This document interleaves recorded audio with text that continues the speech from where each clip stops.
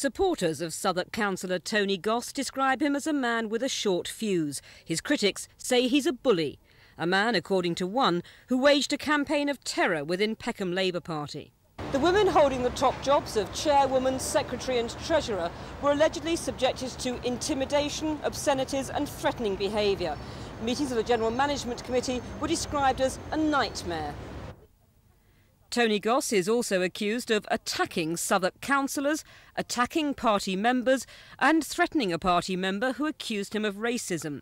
Questions have also been asked about how Councillor Goss and his councillor wife Anne managed to get moved from another council flat to this block on the Friary estate, apparently jumping the waiting list.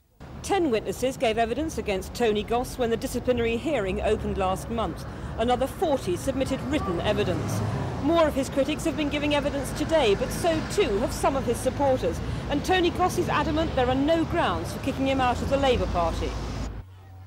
It's not the first time Southwark's Labour parties have been involved in disciplinary hearings. Earlier this year, Peckham's neighbouring Bermondsey CLP was suspended over allegations of a takeover by the banned militant organisation. Peckham itself was suspended in July, pending this case and allegations of financial irregularities.